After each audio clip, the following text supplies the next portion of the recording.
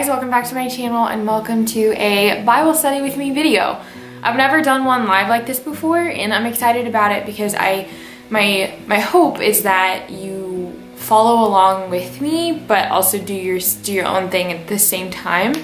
It's kind of like we're in like a little small group together except we're not communicating back and forth. So this is probably going to be a longer video um, because I'm taking you through everything that I am doing in my morning routine. This is my morning routine and I'm walking you through it. There'll be very minimal editing. I just encourage you before we start to get a Bible, get a journal, get a pen, get some highlighters, or I am using um, twistable crayons because crayons, however you say it, uh, because I don't have highlighters right now. I'm getting some for Christmas, but just get some Bible study materials. And I have two different versions of a Bible that I will be looking at and then along with some other resources that I will tell you guys about as I go. Okay, the first thing that I want to start with before um, we get into this and the first thing that I start with is just a prayer to kind of focus my brain, focus my mind, and just kind of like drown out everything else, all the rest of the world. So um, I'm gonna do that now. Hey God, thank you for this day. Thank you for the incredible, unfathomable opportunity to sit in the comfort of my home and talk to the one who created me, the one who is refining me daily, the one who keeps me, who is faithful to me, who is good to me. And God, I pray that as I open your word today, as I read in Philippians, I pray that you would illuminate the scriptures in my heart and in my mind, and that it would have effect on me, that it would change my life, even if it's the most subtlest change. I pray that as I walk away from this time with you, that it wouldn't be just me spending these moments with you and then shutting the door on this room and leaving you in here and pray that I would take you throughout my day and that you would use me, Lord, that this encounter that I'm going to have with you today because I'm expecting to encounter you. I'm expecting to hear from you because you do speak to me. Um, I'm expecting to change and for my character to, for your character to be, character to be displayed in me today. So, Lord, I pray that you would open the hearts and the minds and the ears of all of those listening, and whether or not they walk away from this video feeling like they got something out of it or not, I pray that it would just equip them with tools. Um, and any time in your presence, whether feelings are felt or not, is life changing. So, thank you for this opportunity today, Lord, and I can't wait to hear from you. And I pray. Amen. I'm going to be going through the book of Philippians today and I'm going to be using the SOAP method. So I'll explain that as we go, but let's get into it. The first thing that I want to do is read from this devotional called Unshakable by Christine Caine. It's gone through it for three years now and it is for sure. So the scripture is the harvest is plentiful, but the workers are few. Ask the Lord of the harvest, therefore, to send out the workers into his harvest field. Luke 10 2. There comes a point when our devotion turns to action, and that action doesn't have to be glamorous because Jesus is looking for co laborers, not co stars. Woo! That's confusing. Jesus told the disciples that the workers were few in the harvest of souls, and they still are today. Let's determine to be a generation of co laborers who are not afraid to get dirty, to work hard in unrecognized positions, and to touch the untouchables, to work from the freedom of the for the freedom freedom of the oppressed, and to get involved in the lives of those who are lost and hurting. We all like to tell a good story, but living one requires hard, fearless work and a slog and a slog through the mud of this hurting world with the power of Christ behind us. So let's put on our sweaty equity. Let's put on our so let's put on our sweat equity for Jesus. God hasn't called any of us to be heroes. The only hero the world needs the only hero the world needs came a thousand years ago, and his name is Jesus Christ. Instead, God has called us to be workers. He's created us to do good works, not to live a life of comfort and ease. Ephesians 2:10. So let's ask him where our field is and let's get to work. Lord Jesus, show me where you want me to co labor with you. I commit to do the dirty work in our power and strength. Okay, I am starting out with my Give Me Jesus journal.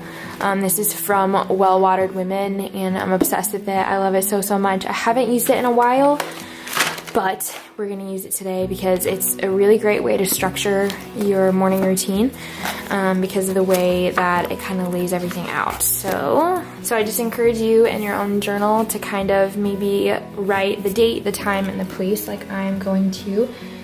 So 11, 22, 20. Uh, I'm actually not sure what time it is. Um, the place is my studio. And then I will just read the scripture. You are the Lord, you alone. You have made heaven, the heaven of heavens, with all of their hosts, the earth and all that is in it, the seas and all that is in them, and you preserve all of them. And the host of heavens, heaven worships you. That's Nehemiah 9 6. I really like that verse. So, next I'm going to just list some things that I'm grateful for.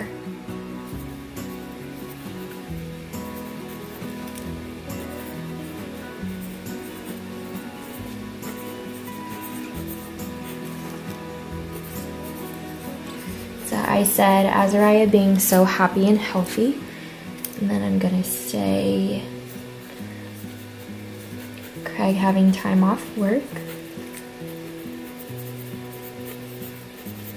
And then I'm also gonna say that this week is Thanksgiving.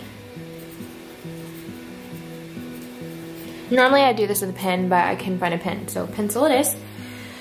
And then in this um, little box right here that says be still and know, I like to either write like an affirmation to myself or a scripture that I'm memorizing or just like even something that I want to remember. So I really like this right here that I wrote. It says he finishes what he starts. I don't know if you can. He finishes what he starts. Um, so I'm going to write that in here because that is very relevant to my life today.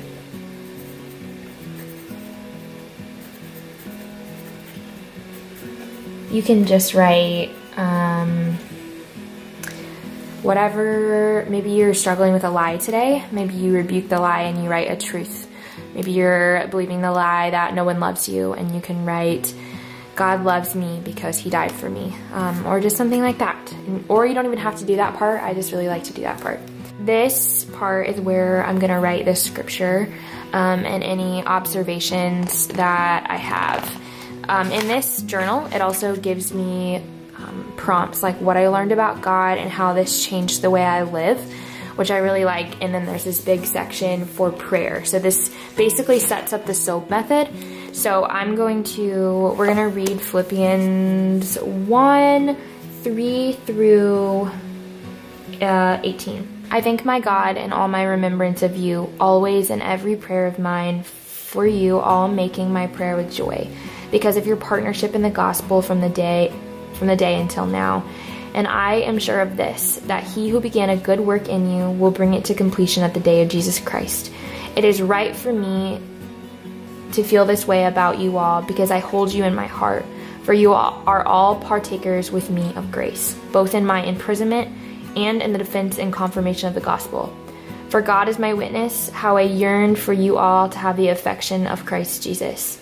And it is my prayer that your love may abound more and more with knowledge and all discernment, so that you may approve what is excellent and so pure and blameless for the day of Christ, filled with the fruit of righteousness that comes through Jesus Christ to the glory and praise of God.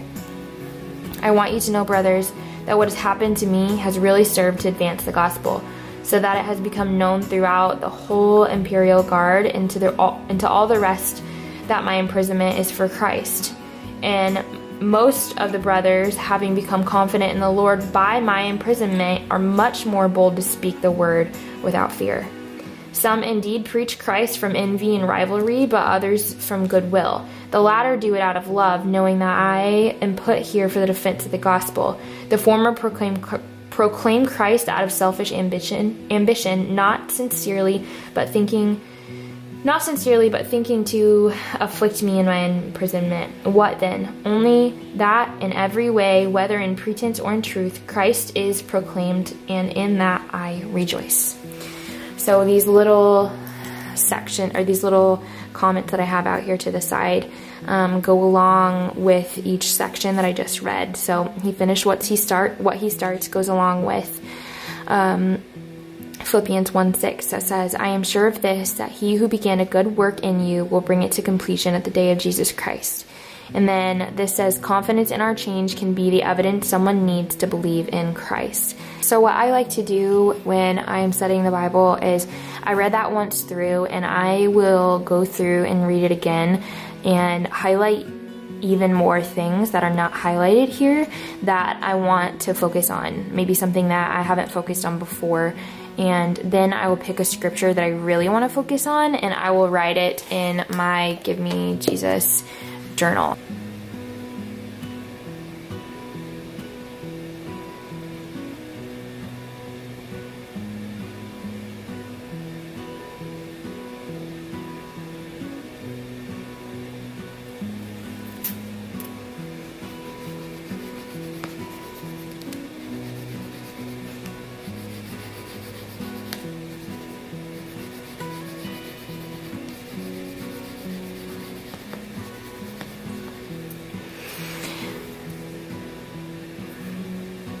Okay, so I, okay, so this verse really stood out to me today. It says, I want you to know, brothers, that what has happened to me has really served, to, has, has really served to advance the gospel so that it has become known throughout the whole imperial guard and to all the rest that my imprisonment is for Christ. So, I'm to write that down in my Give Me Jesus journal here in the scripture section.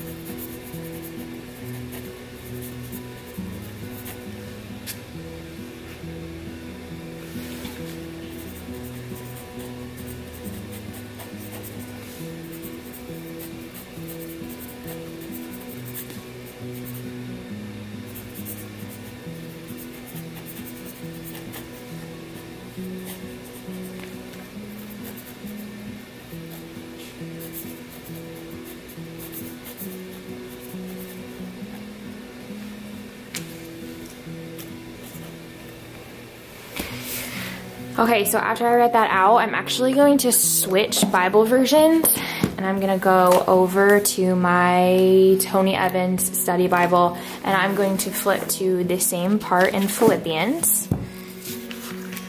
And what I love about the Tony Evans study Bible is that there's commentary at the bottom of the page and it helps give me a different perspective on the scripture and Tony Evans is a theologian and he always has really great things to say about the verses. So this is his commentary, his version, or his, um, yeah, just his commentary in the Bible at the bottom here. So I'm gonna go and I'm gonna find where he is talking about Philippians 1 12, and I'm gonna go a little bit above and a little bit below that verse in his commentary to see kind of what he says and connect some dots. His commentary in Philippians 1 9 to 10 says, Love must be more than sentimental emotion, it must conform with the truth of the Word of God.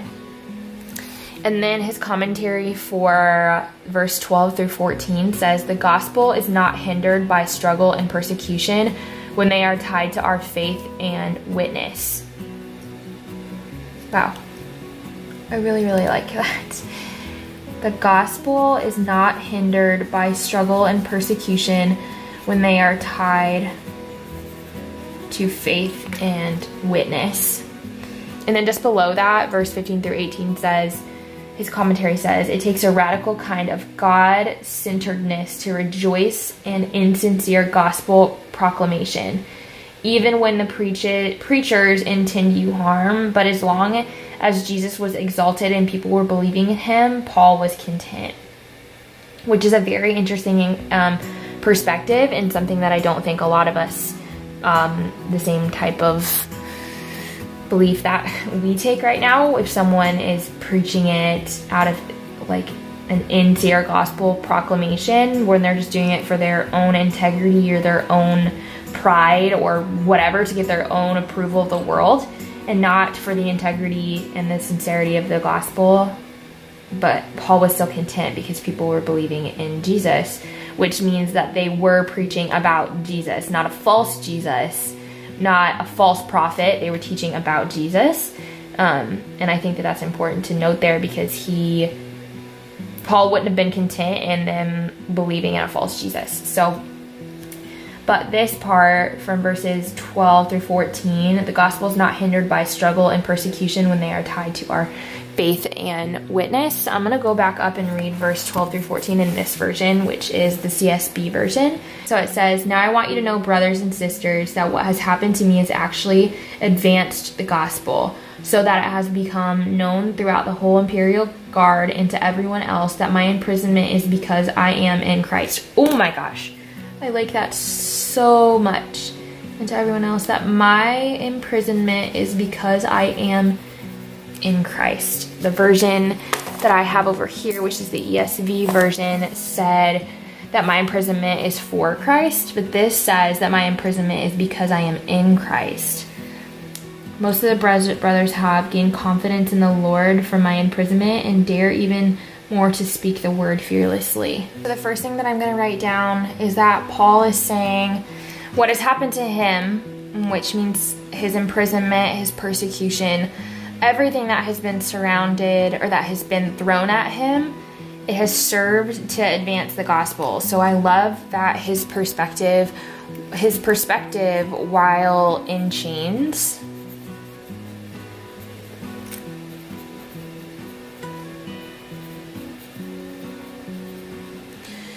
is that God can he can still use people or situations that the world whoop, that the world would say is inusable. I don't know if that's a word. or impossible. So I like to look up definitions of words um, to help me also paint a deeper picture. So I'm looking up the definition of advanced and the definition is um, far on or ahead in development or progress. So I'm gonna write that definition down.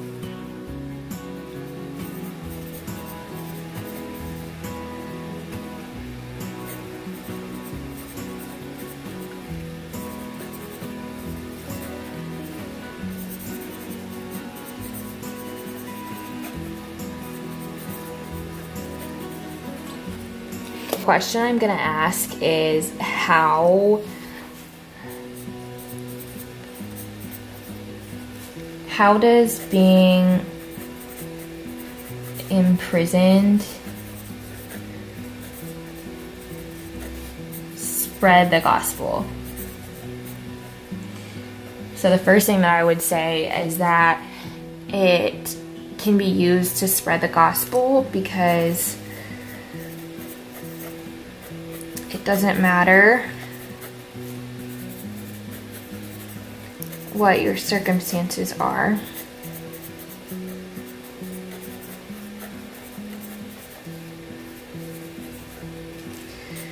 There are people who haven't heard the gospel.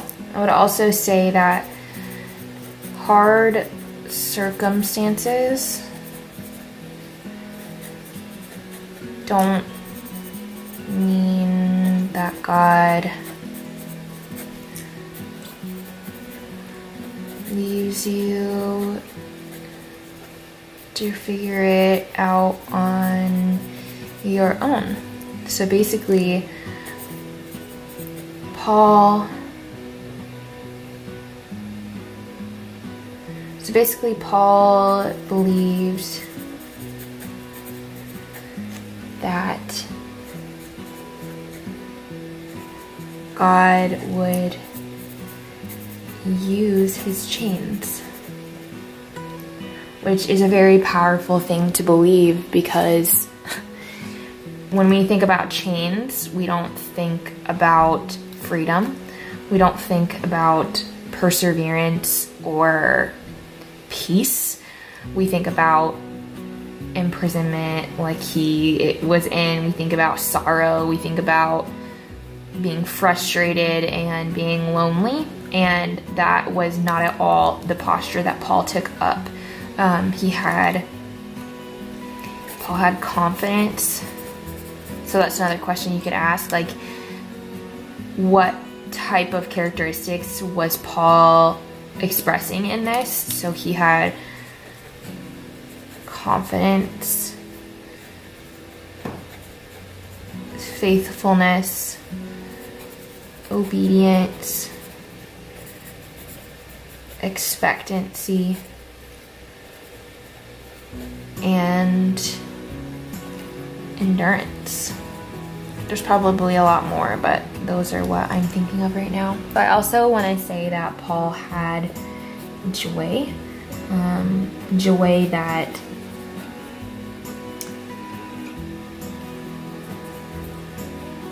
consisted of internal stability despite external circumstances. I think that something else that we can know is that, like, Paul wrote Philippians inside of a prison cell. Like, how many of us in the middle of our hard circumstances can say that we looked outside of our circumstance or deeper within ourselves to see Jesus and to be used so boldly and profoundly and humbly in the middle of our hard circumstances? I think that Paul had to have been so close to Jesus um, he had to have believed in him so much and walked with him so closely before he became imprisoned, um, because that is how he was used. He didn't. He didn't. You know, live the life that he wanted to live and then get get put into prison and then decide to give his life to Jesus. He had been following and being obedient to Jesus before this happened, and so basically Paul was put in a circumstance where he was like, this is not an opportunity for the enemy. This is an opportunity for joy. And this is an opportunity for the gospel to be spread. And the only way he had that mindset was by having a relationship with Jesus that went outside of his circumstances. His relationship with Jesus was not based on how good or bad his circumstances were. They were based on the sole goodness that he knew was Jesus. So this next, so this part says what I learned about God. So I'm gonna say, and you can feel free to write, like I want you to write what you learned or how this changed the way you live, what this, what you learned about God.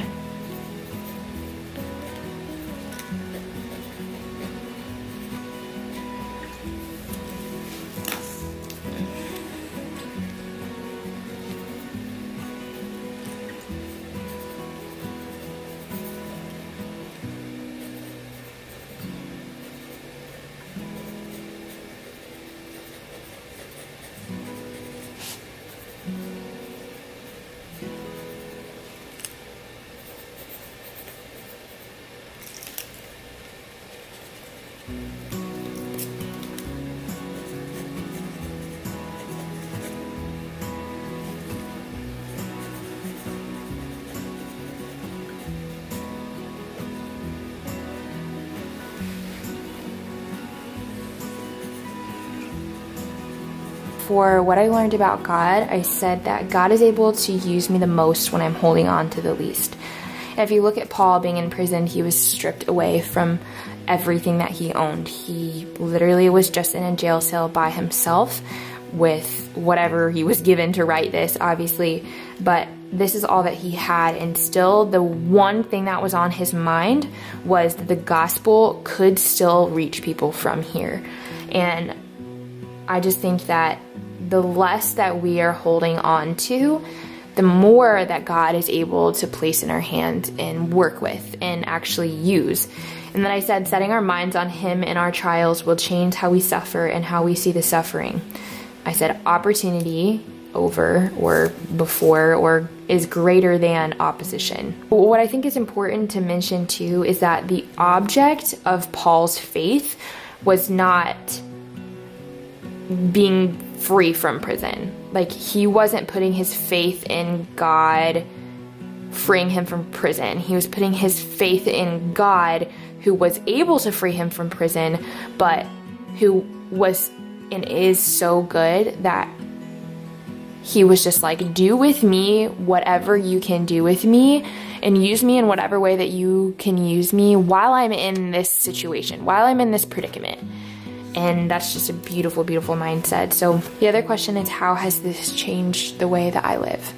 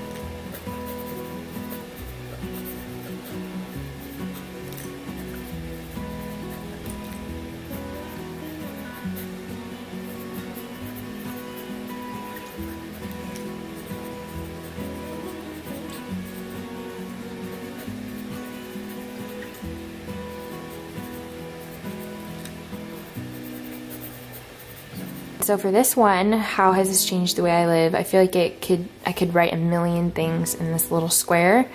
But I said I want to see my valley seasons as opportunities for the gospel to be raised up. And what I mean by that is like if you think about a mountain and a valley, a valley is low, and so I'm brought to the lowest point of myself. I'm stripped away of everything, like Paul was.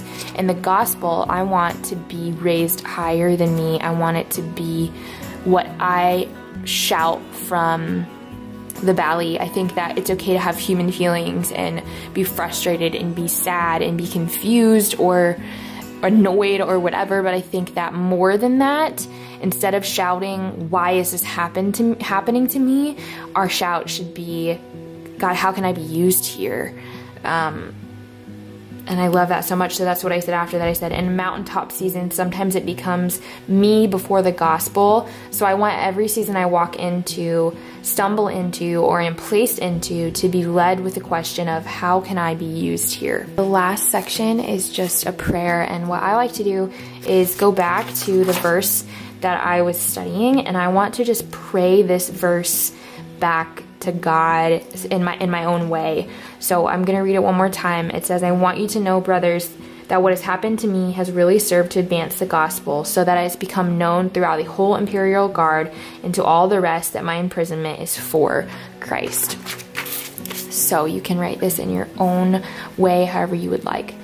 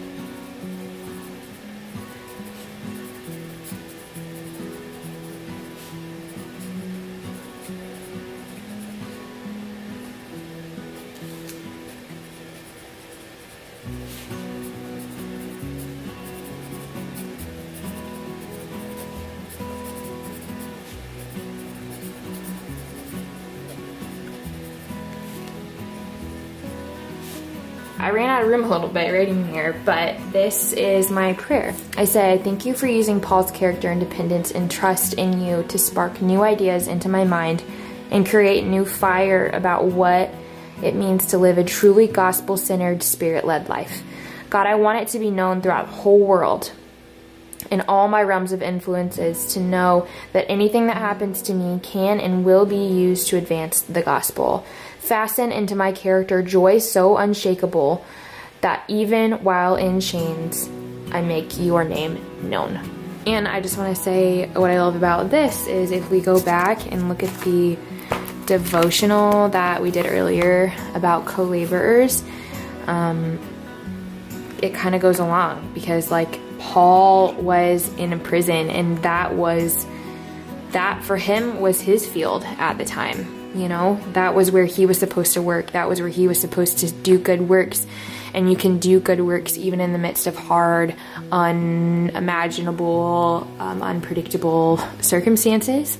And um, I love that you, you can go back to this prayer where it says, I commit to do the dirty work in your power and strength. And we can only do the dirty work. We can only be imprisoned, be in chains, be in trials or hard things, and still be trying to advance the gospel and allowing God to advance the gospel through us if we're operating in His power and strength. So I love that. And if you want to take it a step further, you can take sticky notes and write that verse or write something that you wrote in your journal. Write it onto the sticky note in your Bible so that way whenever you open back up to Philippians, you can see that this is what you learned. So maybe you take what you learned about God and I say, God is able to use the most when I'm holding on to the least. I write that here and I write the date. So the next time I come, I can say, that is what the Lord spoke to me in this scripture. So I'm actually going to do that right now.